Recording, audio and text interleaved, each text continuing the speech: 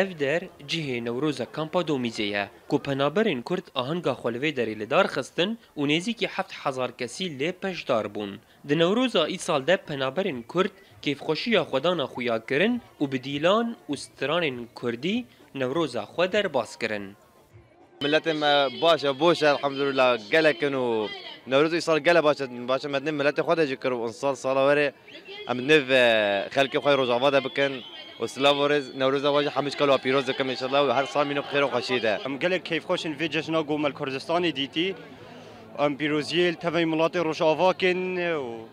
Saleke nexweşî jî ser me de derbas bî yanî bi leşkerê me yê roj.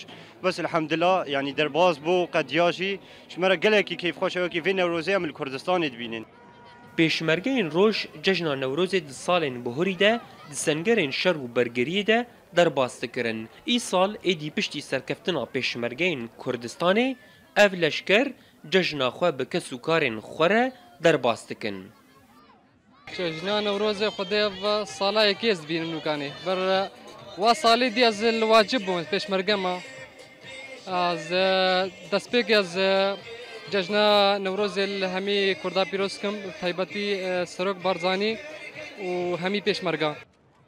Penaberên Kurd dibêjin Newroza îsal ji salên berê xweştir e û hêviya wan got salên were jî her xweştir bibe û li bajarên xwe li Kurdistaneke serbixwe Newroza xwe lidarxin. Em îsal gelek kêfxweş in yanî înşala in û ber bi xweşiyê dir in. Em gelekî êşiyan meselen heger ji ber Hesekê heger ji ber Qamişlo.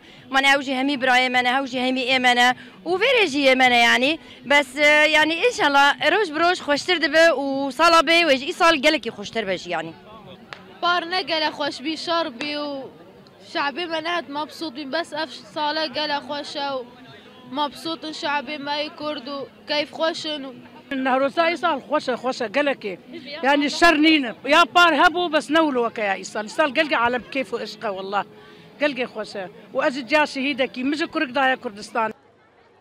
Di Newroza îsal de li Kampa Domîzê ji bilî hejmareke mezin ya penaberan, sê komên filiklorî û zêdetir ji deh hûnermendan jî beşdar bûn. Hejmareke mezin ji penaberan li vê derê kom bûne û Newroza du hezar û hevdan bi aheng û dîlalên gelêrî derbas dikin.